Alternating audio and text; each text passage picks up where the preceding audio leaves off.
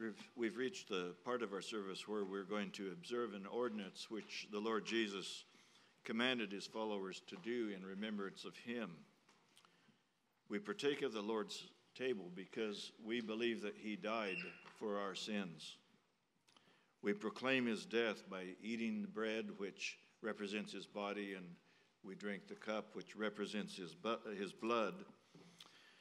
To prepare our hearts for this, we consider a passage of Scripture, and this morning we're going to take a look at uh, Luke chapter 7, verse 36 and following. In this passage, Jesus had been invited to the home of a Pharisee by the name of Simon to uh, have a dinner.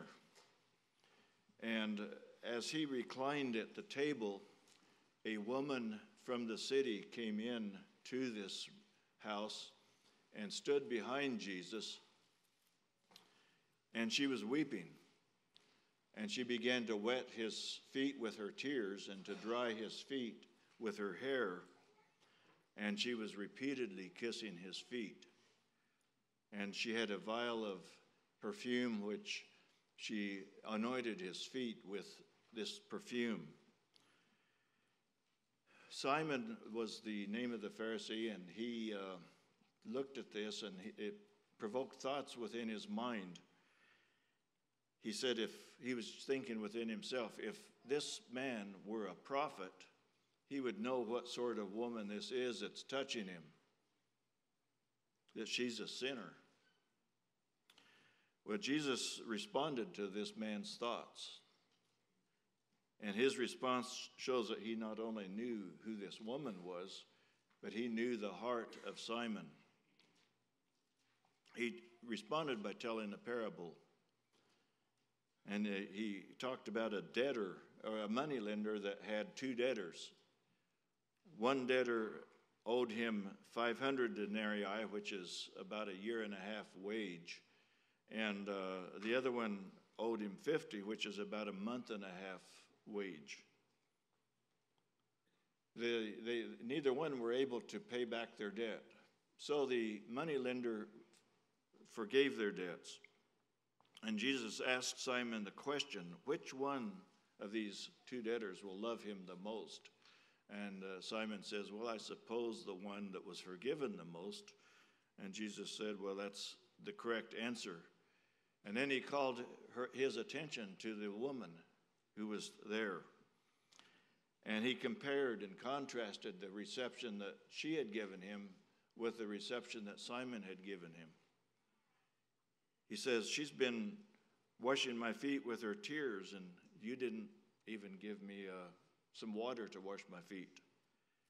She's repeatedly kissed my feet, and you didn't even give me a kiss when I entered.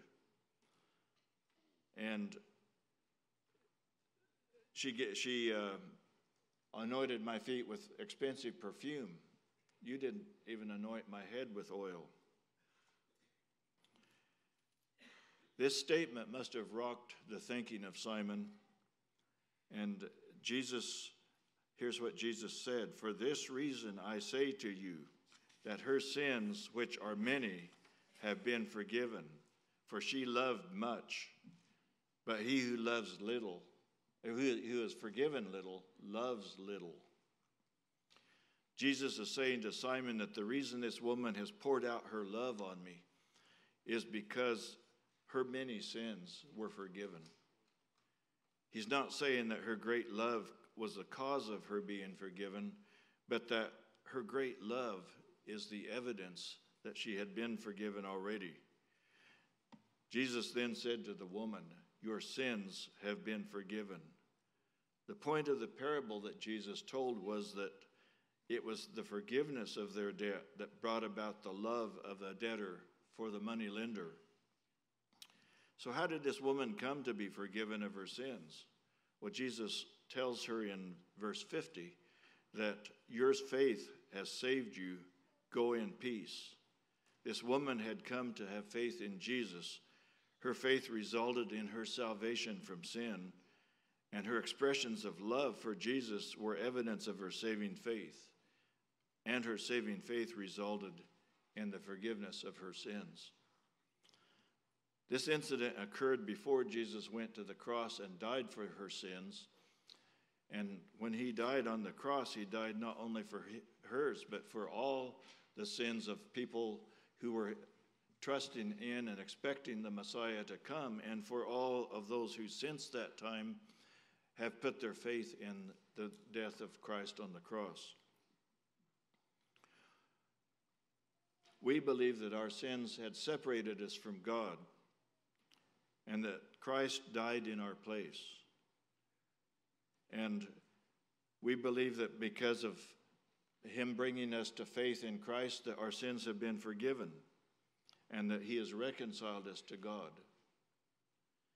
Peter is writing to the first century Christians and he describes our situation.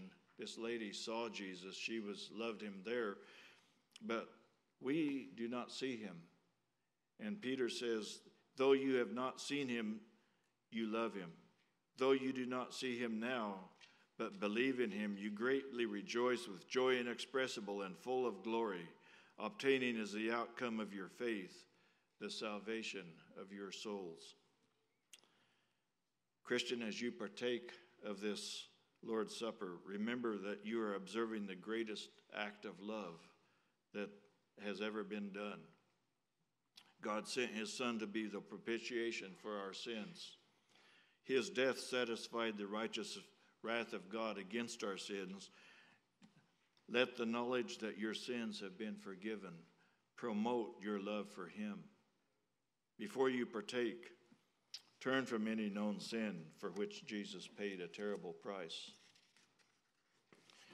And if there's anyone here who realize that you really don't have much love for Jesus, that you really believe that basically you're a pretty good person, that uh, God will be satisfied with whatever goodness you can produce and have produced.